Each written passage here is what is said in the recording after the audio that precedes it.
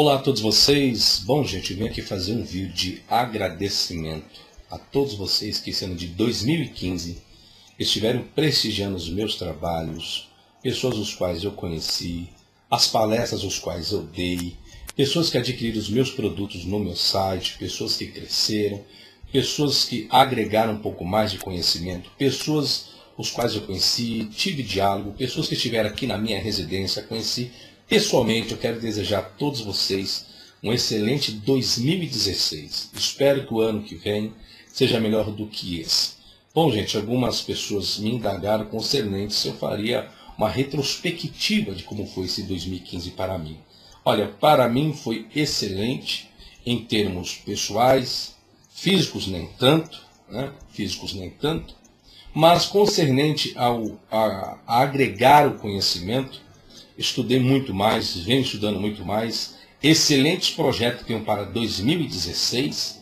Quero agradecer muito ao apoio da minha esposa, da minha família, a todos os meus amigos de longe, Luca Baiano, Gleice, uh, Dalton, Coroné, Rodrigo Messias Batista, enfim, a todos, não vou citar nome, que são muitas pessoas, Silvio de Freitas também, pessoas que eu conheci esse ano, Nick Roger, da Vai TV, que eu fiz um programa. Muito obrigado pelo carinho e atenção de todos vocês, pela hospitalidade que eu tive em algumas residências, no qual eu fui palestrar. Fui muito bem recebido. Bom, gente, quero agradecer e quero dizer que eu fiz vários vídeos esse ano. Vídeos concernentes ao Espiritismo, concernente ao Judaísmo, concernente ao Cristianismo, concernente à história, debates que eu tive esse ano com pessoas leigas e pessoas não leigas. Então foi muito bom. Isso ocorreu nesse ano.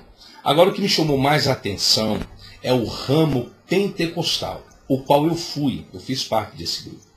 O que me chamou a atenção é que eu recebi, eu devo ter mais ou menos mais de 10 mil pessoas, eu tenho 3 milhões de acessos de visualizações no meu canal, eu tenho quase, se eu juntar a minha fanpage, meu grupo, dá em torno de 40 a 50 mil pessoas que visualizam os meus trabalhos.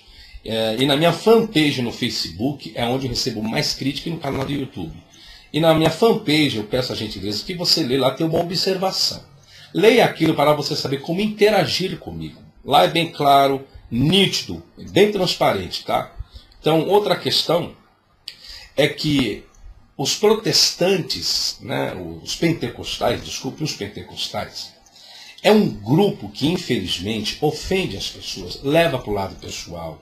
Quando você não usa a mesma linguagem que ele, não corresponde à fé dele, e isso não é bom. E muito, né, muitas dessas pessoas, os quais me ofenderam, eu fui lá no Face, fui no canal do YouTube e vi mensagens né, no Face sobre é, cristianismo, oração, amor, paciência, afeto, hospitalidade, carisma, temperança, domínio próprio, textos bíblicos, então nem se fala, muitos textos bíblicos, muitos debates religiosos né, sobre questões tanto culturais de costume de igreja, quanto questões teológicas e bíblicas. Esses que eu vi. E esses mesmos que dizem ter Jesus, que oram, consagram, sobem monte, tomam ceia, dão dízimo, etc e tal, são os que me ofendem. E aí eu queria entender, que raio de cristão é você? Que Bíblia você segue?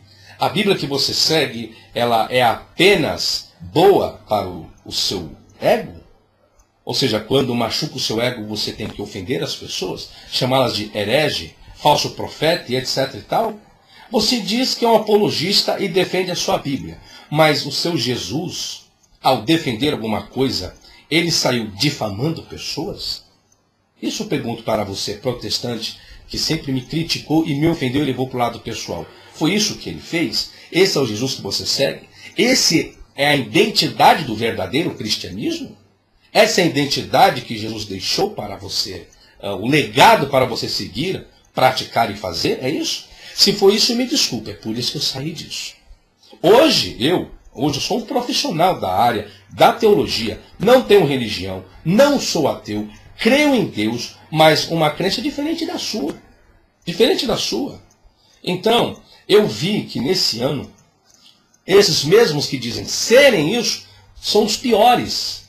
O pior lixo do mundo da religião. Eu não chamo você de religioso, chamo você de lixo.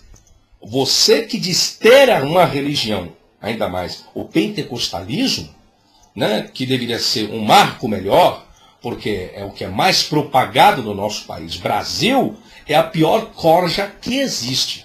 Não estou generalizando pentecostalismo. Estou falando de pessoas que estão no ramo pentecostal, mas que saem difamando pessoas. Sai ofendendo as pessoas, porque não tem a devida capacidade de argumentar no campo da ciência, da razão, no campo da linguística, no campo da teologia, etc e tal. Quando você não tem a capacidade, então é melhor você começar a ter a partir de 2016, estudar, ser mais humilde.